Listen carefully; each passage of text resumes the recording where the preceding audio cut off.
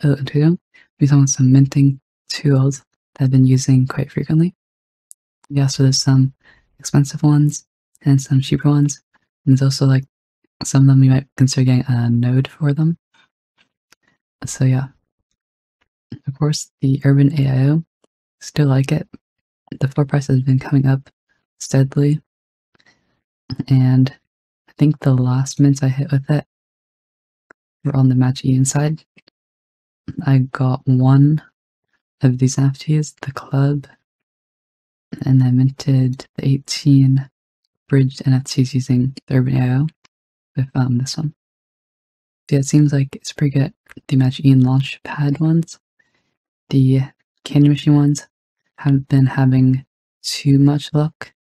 Hoping that um, I'll get to try it again and it will uh, work. This new one I got actually, the Feather Mints, and this one was 20 SOL mint, so it was really expensive. I actually minted three of them. I sold this one for 26 and this one for 28. But I haven't actually tried to use it yet, so I don't know if it works. I'm hoping it works.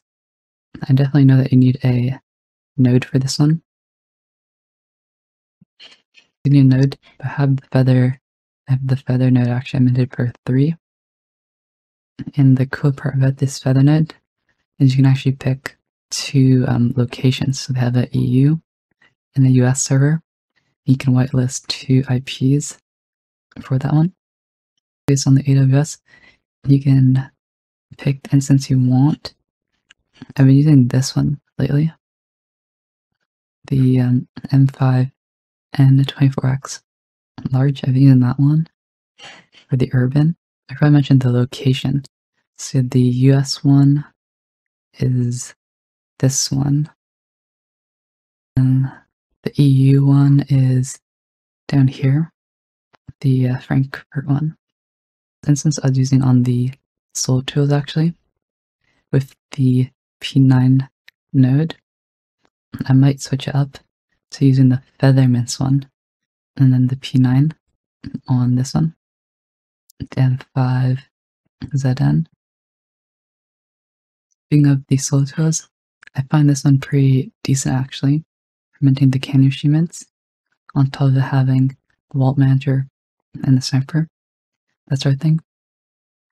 Floor price is lower because maybe it's not as good, but it is pretty decent. I have the P9 one and then the Feather Mints one. You can check those ones out, or you can check out like maybe this one the Mintooor. You can check this one out as well. I haven't used this one, but I do definitely see that it's been performing pretty well. So, and the higher scripts one, apparently this one has a RPC on top of it. So that is, it's kind of, I'm not showing all the tools in detail what I have? But these are some of my favorite ones. Once the Featherman starts working, I might make a video about it, about like setting up and stuff like that, and how I like I'm using it. First side things, just to sort of wrap up there, the Mintin one, I still like it.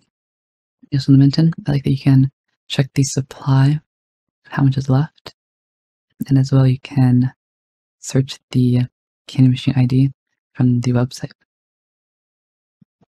I was going to mention the SoulTools. I also like using this function, the load one. You can load the contract and see how much NFTs are left. So when you should stop your instances. This one's the Yung Money. I like this one just for degen mints. You can just click as many tabs as you want um, over here. And then you can just mint them. You can try this one actually. I was using the Yung Money Full Auto on it, and it's pretty fun. For potato, those are all the tools I found useful that I use pretty often.